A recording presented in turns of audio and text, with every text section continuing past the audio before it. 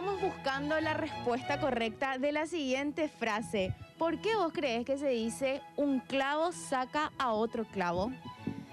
Bueno, y en el dicho popular se refiere a, a que cuando terminas una relación con una persona con la que no te fue bien y de quien te enamoraste, supuestamente al arrancar una nueva relación, ¿verdad? Puedes olvidarte de ese mal amor de esa persona. Es lo que yo entiendo, ¿verdad? Y yo creo que es cierto. Cham. ¿Aplicaste alguna vez, Meli, esa frase, ya sea a tu vida o aconsejándola a otra amiga? Tipo, mira, amiga, un clavo saca otro clavo. Aconsejando sí, Pero, pero no fui tan inteligente conmigo. Sos de usar entonces esa frase. tipo, Vos sabés que sí, que eh, feo es, pero yo creo que es cierto. S- Sí, es bastante común, tradicional, ¿verdad? Esa frase. Yo interpreto que, porque amigos, escuché a amigos utilizar esa frase. Si cuando salen, cortan con la novia o están sufriendo por alguien, salen con otra chica. Pues, y ahí lo que escucho que dicen, un clavo saca otro clavo. Pero yo creo que eso es rébola. Porque el- así, si hablamos literal, el, el clavo nunca sacó otro clavo. O sea, imposible. ¿Cómo, cómo saca? Ese clavo ya entró, se quedó adentro. Eso rellena el espacio. Eh, y esa onda. Y depende de la dimensión del clavo también, del clavo nuevo, para poder rellenar el espacio que queda. ¿Verdad? Yo creo que por ahí viene la cosa, pero yo no creo mucho. ¿eh? Yo creo que se va a hacer un mejunje de clavos en ese lugar.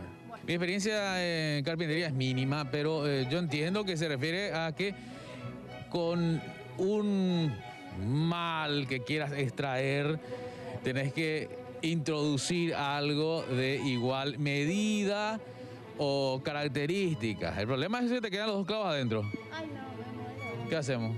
Intentando solucionar la estropeada. Sí, sí, Sofía, ¿qué le vamos a hacer? Sí, es el riesgo. ¿Alguna vez dijiste esa frase? ¿Le aconsejaste a alguien? ¿La utilizaste en tu vida por Sí. A o B motivo? Sí, sí, eh, yo uso mucho esa frase en realidad, sí. Un clavo quita otro clavo porque eh, en el lado sentimental suele ocurrir eso, ¿eh? Sí, va más por lo sentimental. Y dice, sí, y bueno, ¿y cómo hace? Y bueno, un clavo saca otro clavo. Y en algunos casos te hacen caso, en otros no. Bueno, evidentemente eh, hacemos referencia a alguna relación que no está funcionando.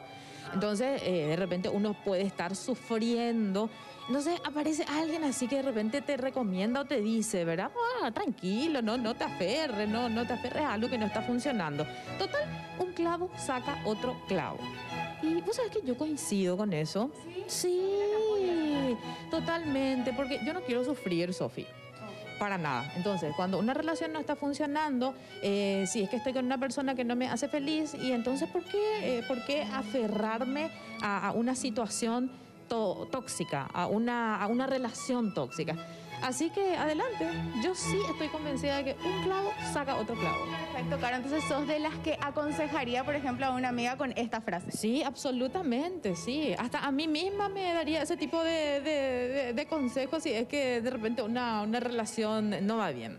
Es cierto también eso de que uno tiene que dar segundas oportunidades, eh, tratando de, de- de mejorar las cosas. Pero sí, definitivamente no se puede. No, no, no, no, no, no, a otra cosa. ¿Alguna vez se preguntaron por qué se dice un clavo saca a otro clavo? Su origen viene de un antiguo proverbio grecolatino que fue citado por reconocidos autores como Aristóteles y Marco Tulio Cicerón, haciendo referencia a los pesares ocasionados por el mal de amor. Esto en los siguientes términos. El nuevo amor saca al viejo amor, como un clavo a otro. Con el paso de la historia, se ha visto como este dicho es uno de los consejos infalibles cuando una persona está atravesando por una ruptura amorosa y desea olvidar a su expareja. Sin embargo, también se puede aplicar a otros sufrimientos o preocupaciones de la vida. Ahora, ya sabes por qué se dice, un clavo saca a otro clavo.